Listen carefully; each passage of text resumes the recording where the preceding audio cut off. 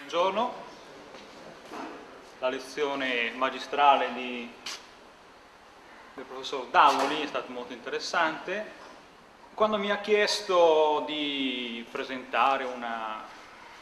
qualcosa a questo, a questo seminario, eh, mi è subito venuto in mente di eh,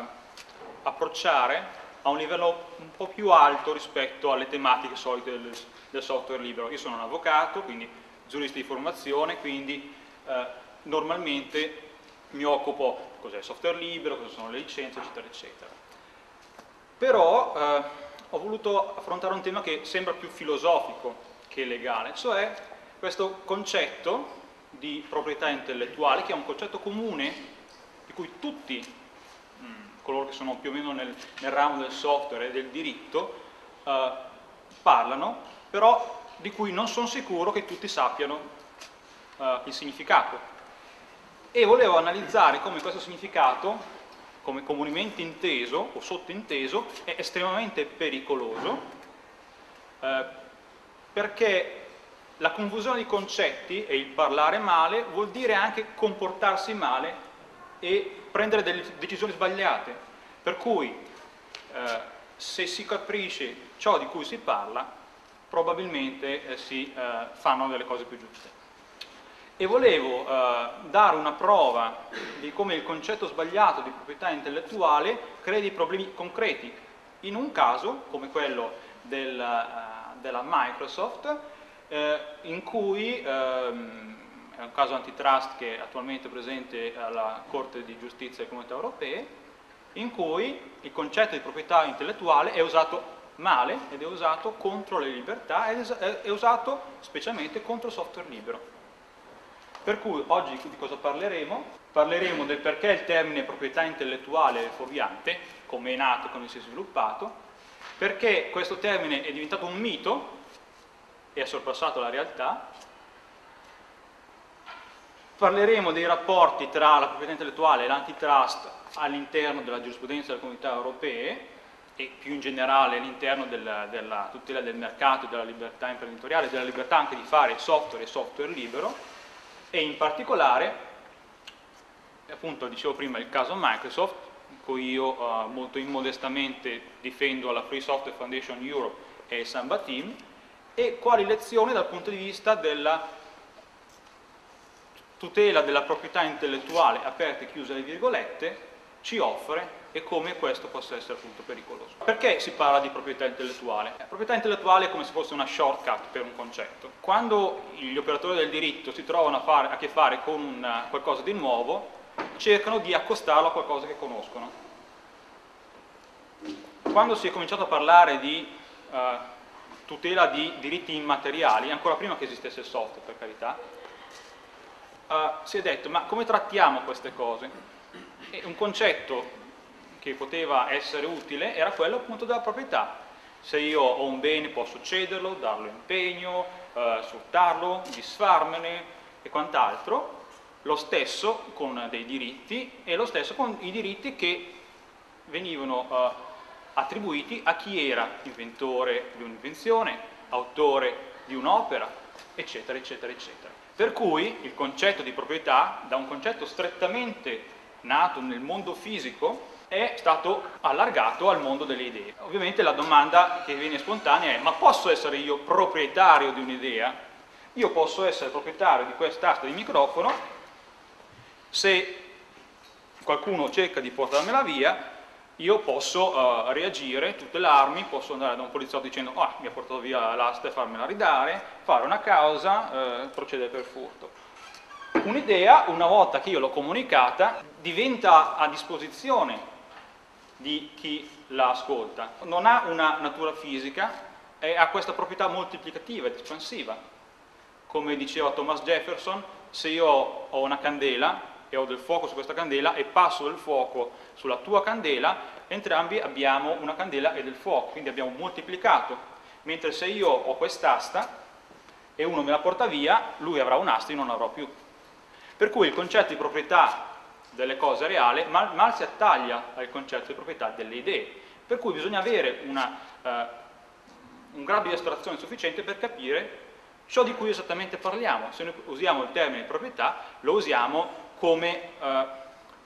una, un trucco per eh, agganciare dei concetti che ci sono familiari, avendo presente di cosa si tratta. Il fatto è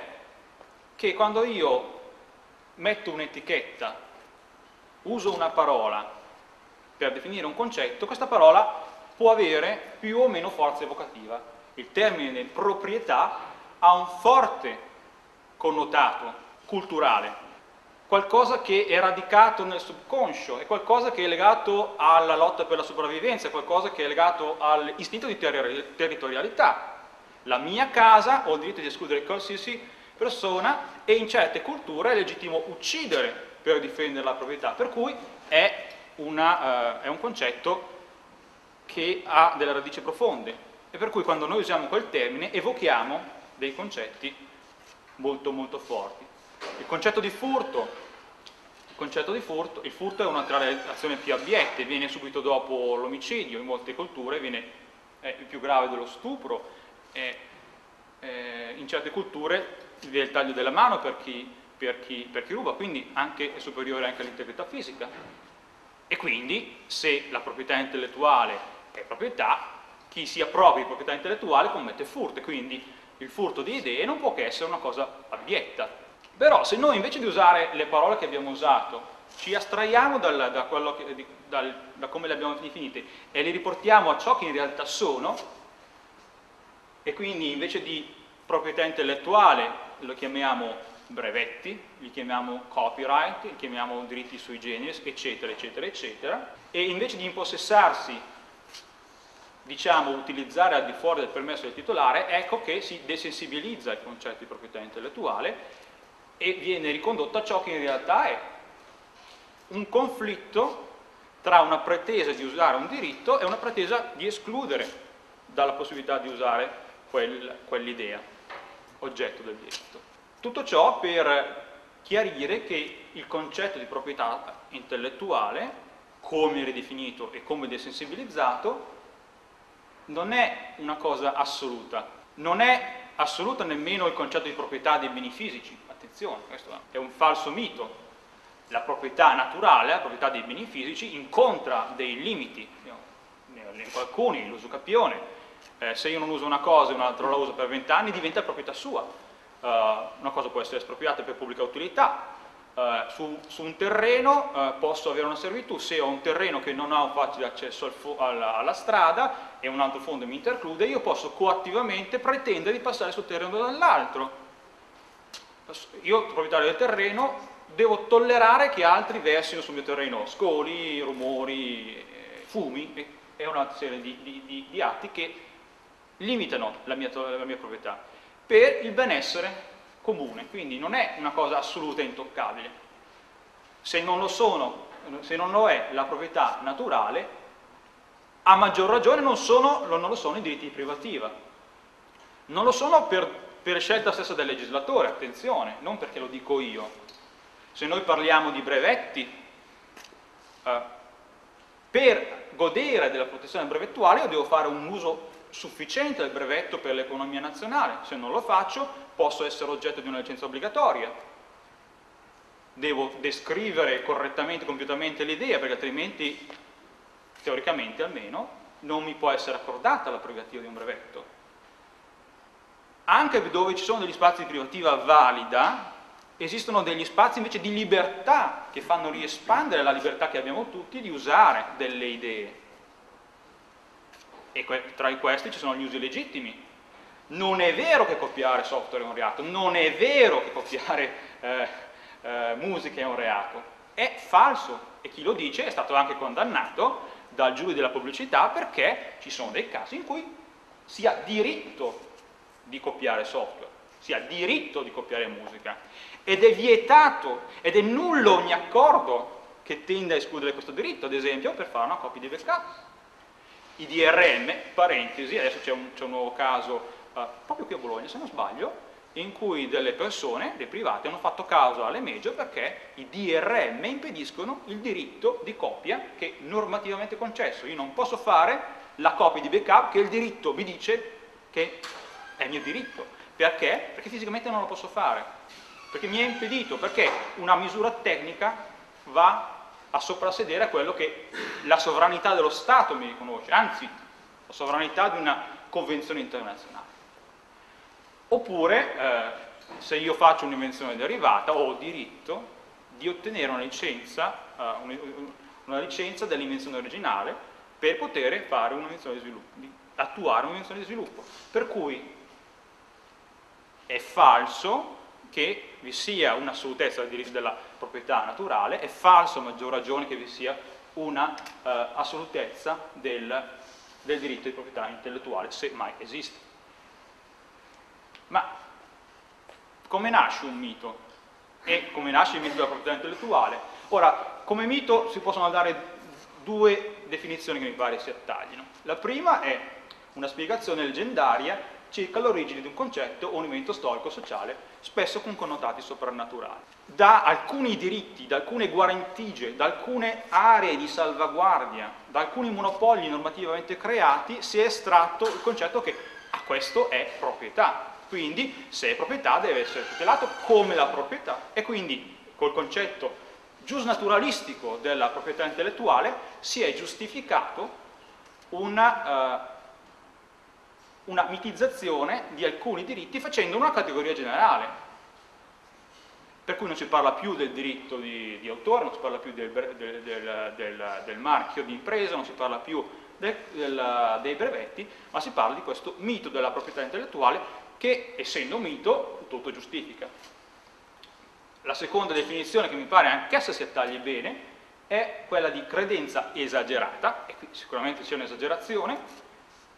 o idealizzata, e eh, anche qui ci siamo, circa una persona o un concetto. Ad esempio il mito dell'eterna giovinezza, cioè, il, o altri miti, il mito della, della ricchezza. E anche qui c'è un'effettiva un generalizzazione, un'effettiva esagerazione di, un, uh, di qualcosa che era un uso euristico, cioè per la ricerca di una verità, di una cosa sconosciuta, che è diventata una cosa valevole di per sé. Ciò che contribuisce di più però a far nascere il mito della proprietà intellettuale sono le convenzioni internazionali. Ora si potrebbero spendere delle ore parlando delle convenzioni internazionali sulla tutela della proprietà intellettuale. Ve ne sono molte, ad esempio le convenzioni all'interno del WIPO come il TRIPS, eh, oppure la convenzione di Berna sul copyright, le quali fanno pensare che esista un,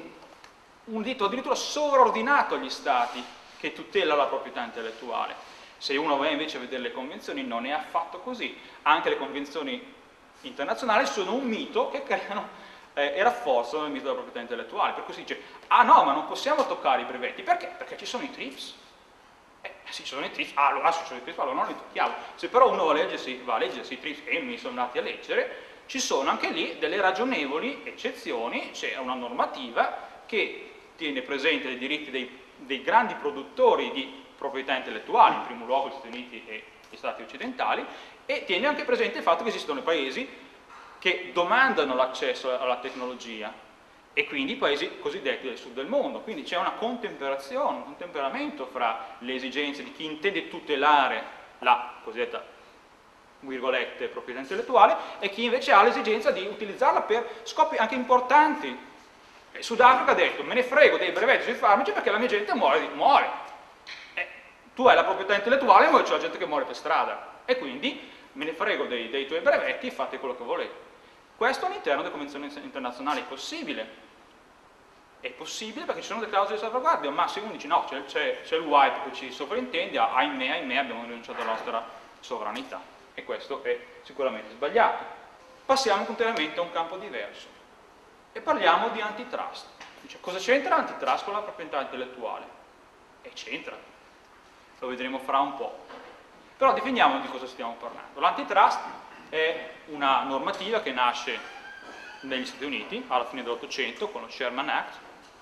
quindi non nasce a San Pietroburgo nel 1917 con la rivoluzione comunista, tutt'altro, è una legge rigorosamente liberale e tende a prevenire i fallimenti del mercato, i cartelli e gli abusi di posizione dominante, il primo caso in cui è stata applicata nel 1911 è il caso Standard Oil. L'antitrust o la tutela della concorrenza è una, è una legge un po' particolare perché fa un ampio ricorso alla cosiddetta rule of reason, cioè risente di concezioni politiche del diritto. Attenzione, anche il diritto della proprietà intellettuale risente di considerazioni politiche e politico-economiche del diritto, quindi questa è già una prima, una prima uh, uh, equiparazione dei due campi che in realtà ci si dimentica molto spesso, della quale ci si dimentica. Una legislazione antitrust importante perché porta più prodotti a un minor costo e prodotti migliori. Se, due, se faccio sempre questo esempio molto banale che non dà assolutamente l'idea ma può essere un'introduzione, se io ho un panettiere solo in un paese avrò pane cattivo e che costa tanto, se ne avrò due e se non si mettono d'accordo, se uno non è in grado di, eh, di fregarsene dell'altro, avrò pane migliore. Se c'è una situazione di, uh, di, concorrenza, avrò una, una uh, situazione migliore piuttosto che una situazione di monopolio, perché l'imprenditore ha interesse a minimizzare i prezzi e far ritendere la costo marginale e si apre eh, una pressione dei concorrenti per migliorare i propri prodotti e l'imprenditore in concorrenza, a differenza del monopolista, ha poco potere. Ora mi chiedo, ma secondo voi e secondo me, nel, nel mercato del software esistono i monopoli? Esistono sicuramente i monopoli, ce n'è almeno uno che è un monopolio di mercato molto importante, di cui farò cenno magari successivamente. Ma la privativa stessa data alla proprietà intellettuale è un monopolio per cui bisogna stare attenti quando si crea la, la, una, una diritto di privativa, perché si corre il rischio di creare un monopolio. Quindi un eccesso di, pro, di protezione può creare un abuso del mercato e far fallire il mercato. La proprietà intellettuale, aperte e chiuse le virgolette, o l'abuso di essa, o l'abuso dei diritti di cosiddetta proprietà intellettuale, corre il rischio di far fallire il mercato e di creare o rafforzare monopoli in realtà si giustificano i, uh, i monopoli creati dalla privativa col fatto che intanto non sono dei monopoli assoluti, intanto ci può essere uh, concorrenza tra le varie invenzioni. E questo è vero per, per, le invenzioni industriali, è vero per i modelli, è vero per tante altre cose. Se io ho brevettato i promessi sposi non è che po non possa fare un altro romanzo in cui due persone si incontrano, vengono uh, osteggiate e alla fine si sposano. Perché c'è una limitazione lo scopo è molto limitato, quindi è, un, è, una, è, un, è una limitazione, un monopolio di poco conto dal punto di vista economico, ma potrebbe diventare, se quella uh, privativa è una cosa molto importante che determina l'accesso al mercato, quella piccola protezione può diventare enorme, avere un effetto leva enorme. Nel software vedremo è esattamente il caso. Il fatto è che è ben strano che sia la concorrenza, cioè il diritto della concorrenza o il diritto antitrust, sia le protezioni del, eh, date dai, dai, dalla, dai diritti di cosiddetta proprietà intellettuale sono indirizzati allo stesso obiettivo, cioè di avere più prodotti, prodotti migliori a un maggior numero di persone e un accesso migliore alla conoscenza, che altrimenti, come diceva giustamente eh, Renzo prima, eh, verrebbe conservata in segreto, se non avessi i brevetti le invenzioni avrebbero tenute nel segreto dei, dei, dei laboratori, delle, delle, industrie, avrei dei prodotti, potrei fare un reverse engineering dei prodotti, ma le idee non verrebbero comunicate, non, non andrebbero nel, uh, nel, nel dominio comune alla fine del periodo di protezione. Né potrei fare delle invenzioni di miglioramento, perché i brevetti costituiscono lo stato dell'arte, ad esempio, e io posso usare lo stato dell'arte, anche se è protetto, per fare delle invenzioni di miglioramento e ottenere delle licenze, delle licenze eh, obbligatorie. E quindi solo in casi eccezionali, proprietà intellettuale cosiddetta e concorrenza sono in, sono in contrapposizione. Normalmente dovrebbero tendere allo stesso risultato con strumenti diversi. Nella giurisprudenza europea si è visto che esistono dei casi in cui la proprietà intellettuale è un grosso freno alla concorrenza. E il primo caso è un caso storico, il caso McGill, che riguarda il diritto d'autore e il diritto sui, sui generi della protezione delle banche dati. Non, eh, non faccio un'analisi un eh, approfondita della giurisprudenza perché non è questa la, la, la, sede giusta, ma quello che è importante è che sia stato deciso che ciò che era oggetto della pretesa di proprietà intellettuale, per che uso le virgolette, quindi il copyright e il diritto del database sui programmi televisivi, era quella che si chiama un essential facility, cioè una cosa da cui bisognava passare per forza per avere accesso a un nuovo prodotto, un prodotto non già esistente, cioè un una, una, pubblicazione che facesse della critica, anticipasse i contenuti delle, delle, delle situation common della serie, eccetera, eccetera, eccetera. Casi eccezionali, ma anche qui il diritto a, a, una sana concorrenza ha fatto sì che il, uh, chi legittimamente, secondo il diritto, vantava dei diritti di copyright e sui generis di, di, di database, dovesse rilasciare una licenza obbligatoria. Il più recente è stato il caso IMS Health, che anche questo ha creato una giurisprudenza uh, molto uh, radicata nella, nella, Corte di Giustizia delle Comunità Europee e che vi risparmio per brevità. Uh, la cosa che mi interessa è che è stato creato qui uno standard de facto, cioè l'effetto rete di cui diceva Renzo, per lo stesso fatto che uno standard arbitrariamente scelto o anche scelto con un certo investimento, per carità, come la struttura a mattoni per la rappresentazione del, del mercato farmaceutico, una cosa su cui è stata investita molta, molta, ricerca da parte del, dell'IMS Health, per il fatto che è stata usata e il fatto che tutti si aspettavano i dati farmaceutici da chiunque provenissero di essere rappresentati in quella modalità, è diventata anch'essa uno standard de facto, quindi un essential facility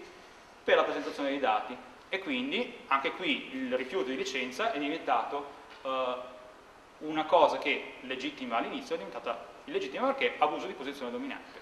E il terzo caso eh, viene, viene, viene, a fagiolo è il caso Microsoft in cui questa giurisprudenza e queste esigenze si sono scontrate ai massimi livelli. Eh, non mi pare il caso di dover presentare la Microsoft che cosa fa e quali sono i suoi prodotti, quello che è importante è che in un determinato mercato i protocolli scelti anche arbitrariamente da Microsoft per comunicare con altri tra PC e PC in ambito workgroup o tra server e PC o tra server e server sono diventati uno standard de facto per cui con l'ubiquità della presenza di Microsoft chiunque volesse aggiungersi alla, a, alla rete con un'altra macchina, con una, un sistema operativo diverso doveva per costrizioni tecniche e per costrizioni culturali usare gli stessi standard.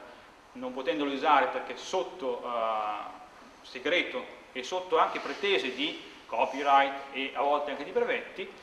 il rifiuto di licenza, il rifiuto di rivelare questo segreto è stato ritenuto dalla Commissione, non da me, un abuso di posizione dominante, cioè un mezzo con cui Microsoft eh, cercava di proteggere il proprio mercato nel, nel sistema operativo per PC e di estenderlo a mercati adiacenti. E quindi è stato riconosciuto un abuso di posizione dominante e quindi Microsoft è stata, è stata condannata a rilasciare informazioni, sotto, eh, le informazioni e a licenziarle sotto condizioni eh, RAND, che vuol dire reasonable and non discriminatory, cioè ragionevoli e non discriminatori. Allora, eh, molto brevemente vi dico come, eh, come si procede in un caso, in un caso di, questo, di, questo, tipo e per cui vi, eh, possiamo capire a che punto ci troviamo. Una causa antitrust comincia con una segnalazione, c'è un'investigazione formale da parte della Commissione, la, commiss eh, la Commissione sente la, le parti e i terzi, si emette uno statement of objection, cioè una contestazione formale eh, c'è un'udienza successiva a cui le parti e la parte contestata può partecipare, uh, c'è tutta una procedura che garantisce un, il contraddittorio anche in fase amministrativa, c'è un independent hearing officer in questa udienza e solo a questo punto, e ci sono voluti 4 anni nel caso Microsoft, c'è una decisione, per cui non è una cosa che viene fatta così perché si sveglia una mattina il commissario Monti e decide che Microsoft deve essere punita. Questa è una cattiva rappresentazione. Rispetto a questa decisione può essere opposto un appello giurisdizionale al Tribunale di prima istanza, anche sotto forma di un procedimento di urgenza per la sospensione della decisione che di per sé è immediatamente efficace e successivamente può essere fatto appello al grado superiore che è la Corte di Giustizia delle Comunità Europee che è il massimo grado della giurisdizione europea. Nel caso Microsoft siamo passati attraverso tutti questi passi marzo 2004 decisione Monti, dopo 4 anni di investigazione, anzi probabilmente 5, il complaint, il complaint originario era del 98, giugno 2004 è stato fatto l'appello, dicembre 2004 la sospensione non è stata concessa, per cui nel 2005 Microsoft ha iniziato a dover rispettare la decisione che fino a quel punto è stata autosospesa dalla Commissione. Nel dicembre 2005, cioè un anno dopo, la Commissione si è stufata dicendo cara Microsoft non hai rispettato i termini dell'accordo, nel marzo 2006 abbiamo avuto l'udienza eh, per decidere se Microsoft dovesse essere punita con ulteriori multe rispetto a quelle originali. Nell'aprile 2006 abbiamo fatto l'udienza di merito, nel giugno e luglio 2006, adesso non ricordo esattamente, le sanzioni sulla seconda fase, sulla compliance, sono state confermate, nell'ottobre 2006 è stato portato un, un ulteriore appello. E, e, questa è la cosa più interessante, primo, in, a giorni o a mesi la Commissione dovrebbe prendere in esame una cosa che è stata lasciata da parte, cioè la concorrenza. Perché chi è concorrente di Microsoft? Eh, in questo settore ce n'è uno solo che si chiama Samba e Samba è open source, e Samba è software libero, e Samba è sotto GPL. È ben strano che dopo 6-7 anni stiamo ancora per iniziare a discutere dell'unico operatore che è interessato da queste cose, che è appunto Samba Team, che è tra l'altro il mio cliente, questo è un altro paio di mani. Ed è importante che non soltanto noi o voi dell'open source o del software libero stiamo aspettando con ansia che ci siano queste cose, ma c'è tutta una serie di industrie che fanno miliardi di dollari di fatturato e che fanno miliardi di dollari di fatturato sull'open source o sul software libero. 1.4 miliardi di dollari in un solo quadrimestre, mi sembra che sia stata l'ultima rivelazione di IDC, quindi una cosa sostanziale, non una cosa irrilevante e il fatto che ci siano più sistemi operativi open source, Linux, ma anche altri, è sicuramente importante per tutto quello che ci sta sopra. Ma non è soltanto questo che è in ballo nel caso Microsoft. È in ballo, eh, a caso Microsoft è Armageddon. Eh, il caso Microsoft è il red razionem tra chi pretende di assolutizzare la proprietà intellettuale e fare uno scudo contro la concorrenza e contro ogni altro legittimo diritto degli utenti, compreso quello di rilasciare software libero che sia uh, efficace ed efficiente, compreso quello di studiare, compreso quello di interfacciarsi con, con uh, il software proprietario, che esiste ed è lì e non, è, non lo possiamo ignorare, e in generale se il concetto di proprietà intellettuale, aperte e chiuse le virgolette, sia non solo d'inciampo, ma addirittura sia un ostacolo insormontabile per una politica antitrust, per una politica di apertura della concorrenza e per una politica di libertà, che è quello che si cerca di, di portare. Ma non solo, qui siamo, è in gioco il concetto stesso di sovranità di uno Stato. La legge antitrust è una legge con cui lo Stato pretende, secondo me ha ragione, di regolare il mercato quando questo fallisce, di non lasciare le cose come stanno a qualsiasi abuso. E quindi è anche il concetto stesso di sovranità di uno Stato e, o di un'unione di Stati come la Comunità Europea o l'Unione Europea e quindi di uno Stato di diritto dove il diritto e non la forza è la, la pietra di paragone per sapere se una cosa è lecita o illecita, se è possibile o non è possibile, cosa che coi brevetti, ma soprattutto coi DRM, eh, verrà completamente spazzata via, perché io posso avere tutti i diritti di questo mondo, ma se non mi è consentito fisicamente di esercitare i miei diritti, i miei diritti sono carta straccia, se io ho un diritto di proprietà, ma chiunque è libero di portarmi via il computer, una proprietà un po', un po' balorda. Se io ho diritto di fare una coppia e questa coppia non, non, mi, non mi, viene consentita, eh, il mio diritto a farsi benedire. Se io ho un diritto di, eh, eh di eh, portare, di sentire la musica, sulla musica su qualsiasi supporto che mi è comodo in quel momento, e pago anche per questo diritto, dovrebbe essermi consentito appunto di portarlo su un iPod, sulla, sul mio videoregistratore, su, sullo stereo, quant'altro. Col DRM questo mi è, mi è, impedito. Quindi mi si comprime, al di fuori di ogni diritto, mi si comprime la mia sfera di, di libertà individuale. Questo meriterebbe due o forse tre ore di, eh, di discussione, ma il tempo è tiranno, quindi bisogna condensare, ma è importante sapere di cosa stiamo parlando. E in cosa la sentenza, la causa Microsoft è indicativa di un pericolo attuale concreto. Dice Microsoft, ma Microsoft sono, sono, forti, non sono mica dei deficienti, eh, sono, bravi, e hanno preso anche degli avvocati. Eh. Beh, non è che sia facile andare là a dire 7.4p e la strategia normale di stupidaggine, questi eh, hanno preso, eh, hanno preso l'avvocato che ha difeso la Commissione europea nel caso McGill. Avete visto il primo caso di proprietà intellettuale contro antitrust o viceversa, è stato il caso McGill. L'ha vinto un avvocato che si chiama Ian Forrester, che è un barrister di Glasgow. Microsoft è andato a prendere questo, questa persona qua, che ha creato nuova giurisprudenza e adesso sta cercando di creare nuova giurisprudenza contraria a quella giurisprudenza che aveva creato a suo tempo.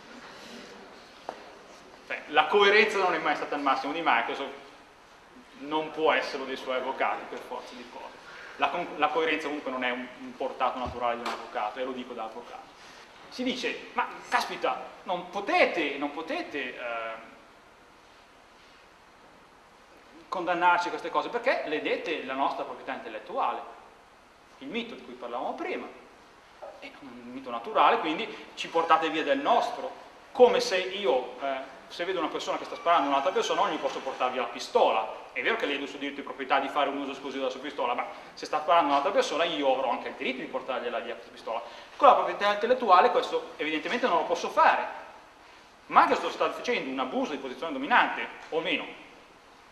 viene allegato che Microsoft stia facendo questo abuso di posizione dominante, fino adesso non abbiamo avuto la smentita, ma Microsoft dice, anche se fosse vero, non mi puoi imporre queste condizioni ragionevoli e non discriminatorie perché facendo ciò eh, mi limiti nella mia capacità di investire, di innovare, perché mi privi della proprietà intellettuale e del segreto che è sottointeso mie, sotteso dai miei, dai miei programmi. E dicendo questo dice, attenzione perché se tu, comunità europea, fai questo, vai contro i TRIPS. Attenzione, state violando degli accordi internazionali. Come se i TRIPS non fossero diritto è vero sovraordinato, ma diritto, e il diritto non è mai assoluto, deve sempre cedere a interessi superiori e in casi particolari. Dice Microsoft, attenzione, questa qui, eh, questa sentenza non è soltanto per me, perché sono il, ho il 95% del, del mercato del, dei PC, vale per tutti quelli che sono operatori dominanti, vale per tutti quelli che hanno per chiusura virgolette, proprietà intellettuale, quindi case farmaceutiche, quindi eh, compagnie, ehm, case costruttrici di aerei come la Boeing, tutte società americane, stranamente, tutti grandi eh, eh, esportatori di brevetti prima ancora che di prodotti, come diceva ancora giustamente prima Renzo, questa nuova colonizzazione della proprietà intellettuale rispetto all'economia reale, chiuso parentesi, e quindi se voi eh, fate questo, chiunque sia in posizione di, uh, di uh, dominanza, quindi ha più risorse anche da investire, non investirebbe perché altri avrebbero un free ride, cioè un passaggio gratis, eh, la possibilità di clonare, eh, queste, due, queste, due, parole magiche, eh, free ride e clone, clonare i prodotti dell'operatore dominante, quindi perché devo investire se poi non posso averne il giusto ritorno usando della mia privatia? Insomma, per, per dirla breve, e parafrasando ovviamente, se anche stiamo abusando non potete farci niente perché io ho la proprietà intellettuale. Questo è inaccettabile da un punto vista, di vista eh, generale ideologico, ovviamente, ma è ancora più eh, inaccettabile perché è falso da un punto di vista fattuale. Eh,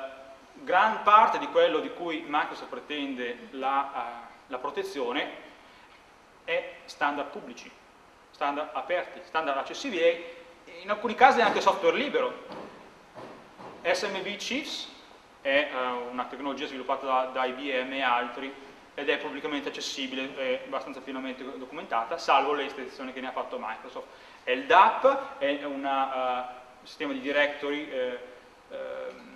nato in ambito universitario, software libero. Esiste l'iniziativa Open LDAP che sta appunto portando avanti un'implementazione di software libero di LDAP, però è, è completamente eh,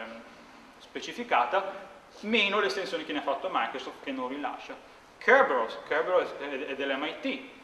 ed è un sistema di autenticazione a gettoni, è completamente software libero, è completamente eh,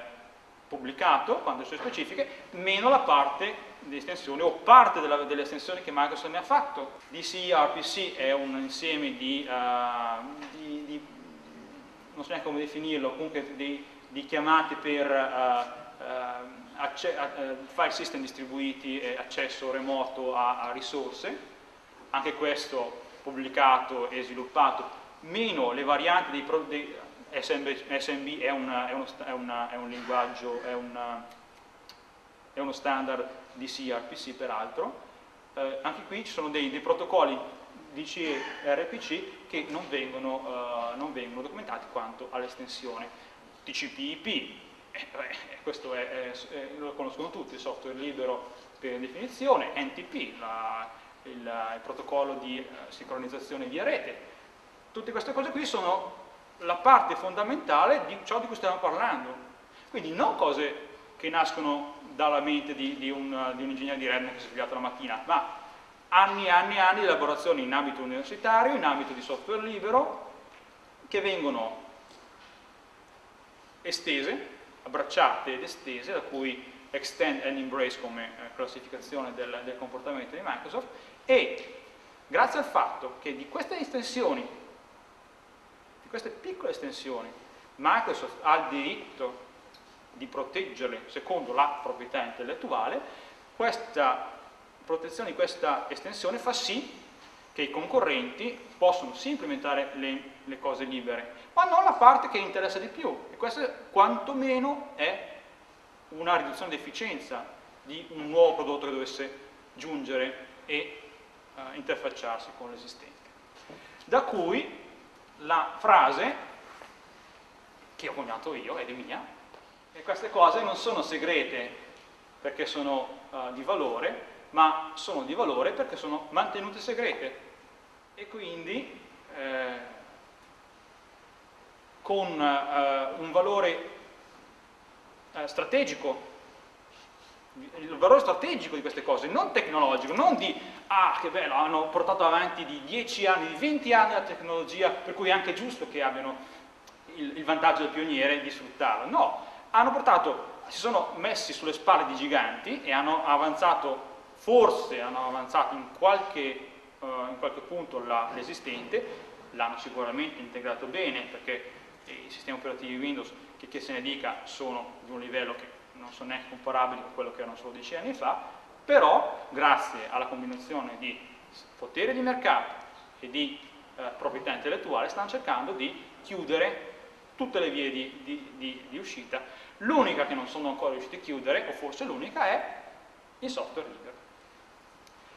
Ma per quanto eh, questo, è un, questo, è un, problema perché con le nuove evoluzioni, con Palladium ad esempio, e con eh, la diffusione di DRM, con l'impossibilità di accedere eh, o con il controllo che qualcuno può fare di cosa io posso accedere, questo potrebbe essere un grosso limite per quello che noi stiamo facendo, cioè portare avanti il software libero. Quindi non è solo il punto di Microsoft ha torto, Microsoft ha ragione, perché questa tecnologia va protetta o non va protetta. No. Se anche si trattasse di innovazione, il fatto che io possa interoperare con dei sistemi è un bene in sé, è un diritto in sé, perché il computer è mio, l'ho comprato io, la rete è mia, l'ho messa su io, sono io il proprietario, sono io che devo decidere cosa ci va su e cosa non ci va su. Non un ingegnere di Remo che dice, ah, attenzione, questa roba qui non può andarci perché ah, non, ha, non, eh, non, ha, non ha il codice di autenticazione, quindi non può interagire con me perché io lo tratto come se fosse un virus. È un po' troppo comodo, quindi non sono libero eh, di comprare oggi un programma proprietario e domani di decidere di passare al software libero. Una volta che io compro un programma proprietario, e purtroppo questa è la situazione in cui ci troviamo, perché se il 95% dei sistemi operativi e quindi negli ultimi anni il 99% dei, dei nuovi sistemi operativi sono, per, per PC sono di casa Microsoft, è facile capire che questo effetto di, uh, di vincolo di oggi rispetto a quello che comprerò domani è già verificato. Per cui è un passettino che io devo fare, o che gli altri devono fare, per tirarmi fuori, tira giù la Claire, fine del gioco. Questo c'è stato per, per, per, tutti gli altri prodotti. Perché per il software è così importante? mentre per le caffettiere, per le sedie a sdraio, per tutto quanto esiste in giro, per le automobili non è così importante, per le navi, per gli aerei. Oddio, adesso con, siccome tutta la, la tecnologia eh, dei nuovi prodotti è software, lo sarà sempre di più anche per i prodotti naturali, ma per il software a differenza della sedia a sdraio, e l'ho scritto nell'ultimo punto, che il mio sedere non ha bisogno di un'interfaccia per sedersi su una sedia a sdraio, ma il mio software ha bisogno di un'interfaccia per comunicare con altro software, ha bisogno di una standard di comunicazione, ha bisogno di chiamate che ciascuno conosce e di cui sono noti tutti gli effetti, sono documentati tutti gli effetti e previsti tutti gli effetti possibili, perché altrimenti non posso con coscienza inserire il centounesimo computer con software libero, ad esempio con Linux, in una rete fatta di 100 computer di Microsoft. Non stiamo parlando di beni ordinari. Eh, sono, esistono delle profonde interdipendenze naturali che se si usa software libero sono normalmente delle interfacce standard, dei protocolli standard, delle chiamate standard, comunque documentate, modificabili a condizione che vengano rilasciate ancora sotto software libero, per cui io posso anche adattare alle mie esigenze, introdurre efficienza nelle comunicazioni, ma esistono anche delle interdipendenze innaturali create d'arte. E qui, come diceva giustamente Renzo prima, eh, lo, lo, prendo ancora con nota come autorità, indiscutibilmente è, il cosiddetto effetto lock-in, cioè grazie all'uso sapiente di interdipendenze anche create ad arte, io riesco a costringere gli operatori, i clienti, gli utilizzatori a utilizzare ora e in futuro non solo il mio software, ma di addirittura abbandonare il software vecchio e di doverne comprare del nuovo. E ci saranno anche le, le licenze che scadono, e ci sarà la musica che scade, e ci saranno gli sms che scadono. Ci sarà una ridefinizione del concetto stesso di proprietà dei beni di consumo che sarà contraddetto dal, dal, concetto di proprietà intellettuale. Quindi non solo la proprietà intellettuale è una proprietà sulle idee, che è un concetto sbagliato, ma la proprietà intellettuale va su una cosa che invece è un supporto fisico e che io eh, compro con una negoziazione che è identica a quella che, che uso per andare a comprare un, un pezzo di pane o, o, un pezzo di formaggio. Per cui, se è vero che in, nel mondo naturale e nel mondo antico, dove non c'era il software, eh, le leggi sulle privative sono nati con pesi e contrappesi che allora erano sufficienti, oggi questi pesi e contrappesi non sono...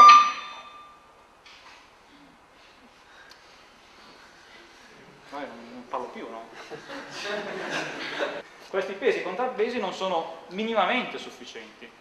perché la realtà è nata molto oltre. Noi ricordate che prima abbiamo parlato di leggenti trust come rule of reason, la rule of reason, cioè il principio di ragionevolezza, nasce per adattare, come principio di equità, nasce per adattare il diritto alle situazioni mutevoli.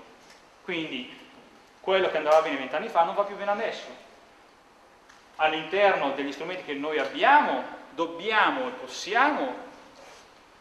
uh, avere un approccio creativo per riespandere i diritti di libertà che ci stanno per essere compressi da costrizioni tecnologiche e di mercato. Probabilmente dobbiamo creare delle situazioni in cui i principi di libertà intellettuale, interoperabilità, eh, non vincolo tecnologico devono essere delle azioni positive del legislatore. Eh, perché, come per il panda, eh, un piccolo sconvolgimento tecnologico, non di, non di ambiente, potrebbe portare all'estensione di alcuni prodotti. Fortunatamente il software libero fino adesso, perché è stato considerato meno importante, perché è stato sottovalutato, perché è intrinsecamente più vitale, è riuscito a, a superare una moria di altri operatori di software proprietario in molti campi. Come dicevo prima, quelli di Rebo non sono deficienti, hanno capito il trucco, da un certo punto di vista hanno anch'essi adottato una strategia di rilascio di prodotti open source e ci sono delle licenze di software libero, di cui almeno una, la MSPL, è una versione a via di mezzo tra la, la, la, GP, la LGPL e la BSD e quindi hanno un atteggiamento proattivo nei confronti del software libero e open source. Dall'altra parte capiscono che dove loro eh, drenano la maggior parte di eh, risorse in termini di effetti di lock-in e eh, lì possono metterci DRM, TCPA, accordarsi con i fornitori di contenuti, bla bla bla bla bla bla, perché tutti hanno un interesse, hanno l'interesse che l'utente finale abbia eh, una strada vincolata da seguire in modo che eh, queste nuove tecnologie vengono veicolate e vengono essere necessarie e eh, limitano la libertà degli utenti con la complicità degli utenti stessi. Però noi, eh, lo dico come, come, utente, lo dico come eh, umile contributore a formare l'opinione pubblica, eh, non possiamo consentire che imprese dominanti o non dominanti o associazioni di imprese eh, cambino il diritto per i propri interessi privati contro il diritto creando una legge privata come DRM. Non possiamo, eh, non possiamo consentire che la sovranità, che il secondo punto non è altro che eh, il comma secondo dell'articolo 1 della Costituzione italiana, venga violato il principio che la sovranità appartiene al popolo, al popolo non a un decision maker uh, della, del, del Nord America, che l'esercita nei modi e nelle sedi previste dalla legge. L'iniziativa privata è sicuramente libera, abbiamo fatto le guerre per mantenere l'iniziativa privata libera, e però questa non può svolgersi in contrasto con l'utilità sociale, per cui la, lo svolgimento libero di una sana competizione e un non abuso dei diritti che lo diritto stesso concede come guarentigia, come diritto eccezionale, non possiamo consentire che tutto ciò si ritorca contro eh, il diritto stesso e venga privata sovranità da chi legittimamente dovrebbe averla. I concetti eh, di questa ultima slide, e quindi concludo, sono stati già mm, più o meno eh, esposti eh, nel corso della, della, discussione. Il software libero è rimasto, ahimè, eh, anzi, grazie a Dio, Uh, l'unica forma di concorrenza vitale in molti campi e, grazie a Richard Stallman e grazie a tutti quelli che hanno scritto e, di software libero, che hanno realizzato software libero quelli che ogni giorno com combattono sul campo. Eh, in molti campi è l'unica alternativa, sistema operativo è, è chiaro, browser. Abbiamo visto come il fatto che bra eh, il browser Internet Explorer eh, eh, sia passato dal 95 al 90% del, del, mercato e il eh, Firefox abbia conquistato una, una piccolissima frazione del mercato, Microsoft ha subito detto ok, facciamo quello che non volevo fare, mandiamo fuori una nuova versione di Microsoft Explorer che più o meno replicherà le funzioni innovative che altri, software, altri uh, browser come Opera, come, come, come, come Firefox hanno. Uh, Workgroup Line Server Samba è una, una, un esempio che consente a Linux di convivere più o meno bene in una rete di uh, computer basati su, e di server basati sui protocolli di, di Microsoft. Eh, ovviamente il software libero è l'oggetto principale, eh, nessuno se lo nasconde, nonostante che tutte le persone di Microsoft con cui parli dicano ma no, ma noi ci rendiamo conto che in realtà no, anzi noi vogliamo cooperare con l'open source si guardano bene di parlare di parlare software libero, eh, non abbiamo nessuna tattica di, di, annientamento, anzi vogliamo combinare, ma nella pratica dei fatti vediamo che ogni decisione che viene presa è oggettivamente e penso soggettivamente contro il software libero. E il software libero è il, il facile obiettivo delle legislazioni pro brevetti, attenzione, abbiamo fatto una campagna eh, in Europa per evitare che una pratica illegale, cioè la brevettazione di invenzioni di software puro, che sono attualmente registrati dall'EPO, venisse legalizzata a posteriori, però questa cosa ce la stanno reinfilando Uh, ogni volta uh, sempre, sempre, con, meno, uh, con meno clamore, quindi bisogna tenere in, in, grande, in, grande, evidenza questo problema. E pro DRM e qui ormai ci siamo, perché vista è alle viste, perché DRM ci sono già negli iPod, ci sono già nei DVD, ci sono già eh, dappertutto e c'è anche una legislazione che dice tu hai il diritto di fare la tua copia privata, ma